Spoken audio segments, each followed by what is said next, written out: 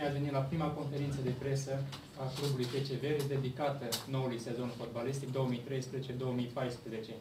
Astăzi avem alături de noi pe managerul general al clubului, domnul Alexandru Grecu, antrenorul principal al clubului, Dănuț Oprea și noul vicepreședinte Ion Gheorgheu. Îi dăm cuvântul domnului manager general Alexandru Grecu.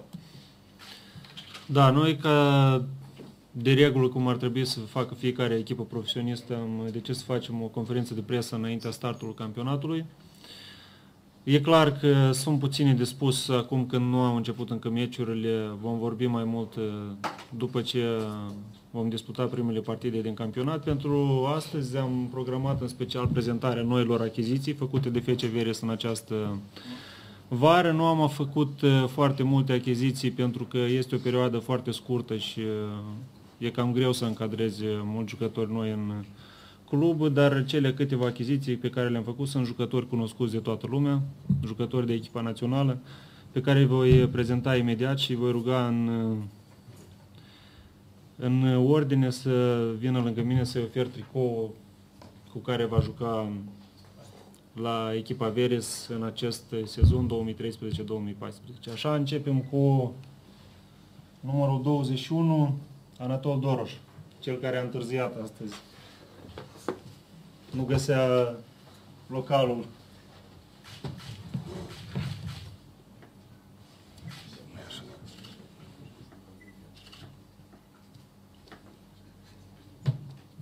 Felicitări și succes!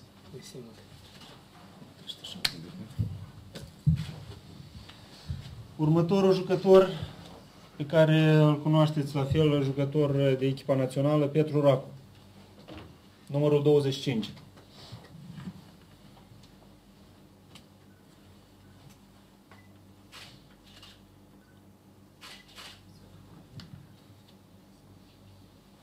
Felicitări și bun venit în familia Vels. Numărul 77, Igor Picus, fotbalist uh, în dinastie. Tatăl său a fost fotbalist foarte bun.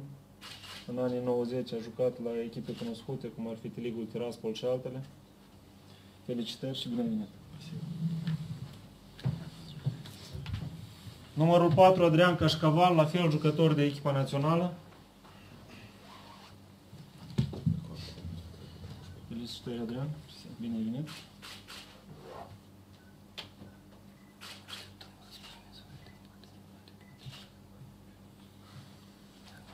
Succes! Numărul 16, Alexandru Antoniuc, jucător transferat de la Rubin Kazani. Fotbalist în care ne punem mari speranțe. Bine ai venit, Alexandru! Nu ascund că întotdeauna l-am admirat și a fost favoritul meu dintre fotbaliștii moldoveni. Succes! Mm -hmm. Și numărul 23, fratele lui Alexandru, Maxim. Bine ai venit, Maxim. Fotbalist de mare perspectivă.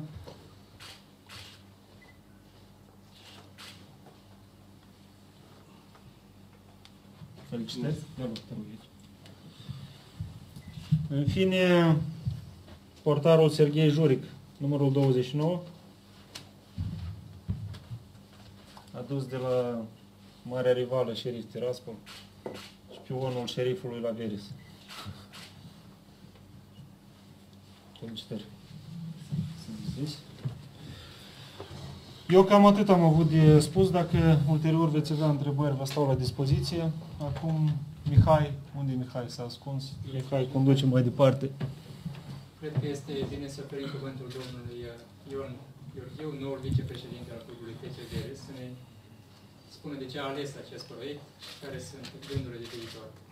Da, eu ca și băieții sunt nou venit în echipă. Dar n-am stat mult pe gânduri când am, eh, am primit această propunere. De ce? Deoarece este un eh, proiect de lungă durată. Acest eh, club Veres, care pe viitor, e, pe viitor este, se planifică să-l ridicăm la un nivel de club centralizat, unde să dezvoltăm mai multe genuri de sport, nu doar fotbalul. Fotbalul va fi acel flagman sau locomotiva care va duce mm, acest proiect, dar știți cum este conducerea clubului și-a pus în, în scop să dezvoltăm, să-l facem un proiect social mai mult și deoarece probele individuale istoric au avut succes în Republica Moldova și avem multe talente, vom încerca să le valorizăm, să le găsim și să anume să dezvoltăm acele probe olimpice, neolimpice, dar individuale pentru a atrage cât mai mulți copii, cât mai mult tineret în, în sălile sportive și să sperăm, nu sunt sigur că, după cum am spus, e un proiect de lungă durată și sunt sigur că este un proiect de succes. Cam acea, din cauza aceasta am ales să vin, să vin în clubul în, la, la FC Veres. Mulțumim, îi oferim cuvântul și poate cele mai importante piese acestei echipe, antrenorul principal, Dănuț Ocă.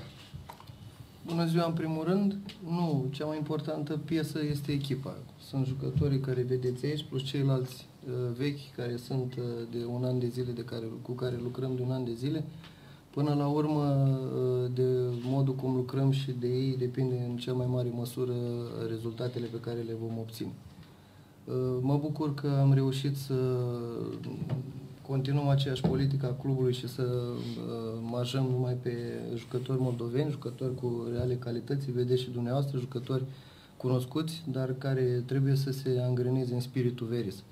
Pentru că un an de zile uh, am lucrat foarte mult și am reușit să creăm acest spirit și sper din tot sufletul ca și jucătorii noi veniți să se încadreze cât mai repede, pentru că timpul a fost foarte scurt să se încadreze în ceea ce ce dorim să realizăm aici.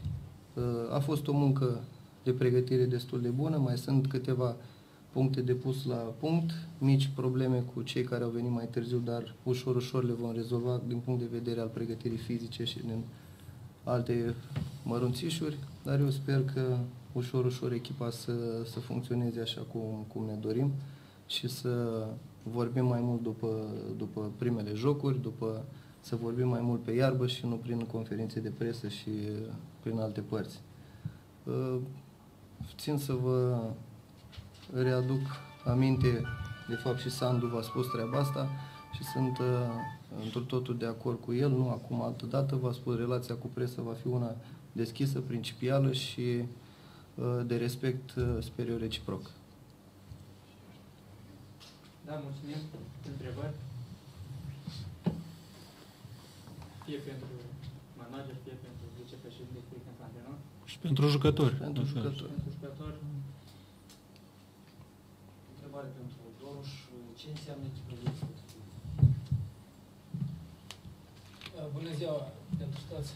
Uh, vreau să spun că echipa Veres vine, uh, putem să spunem, în fotbal moldovenesc, în primul rând, ca un brand vine ca o echipă care dă speranțe pentru viitorul fotbalului uh, moldovenesc, pentru că aici se pun uh, scopuri mari, se pun uh, planuri mari. Pentru aceasta lucrează foarte multă lume. Dar cel mai important pentru mine și pentru toată echipa, eu venit la Veres, am cel mai mult planul numărul 1 pentru că să, să ne bate pentru titlul campionatului în sezonul acesta. Și pași micuți pentru a face Uh, succese, calificându-ne, adică uh, intrând în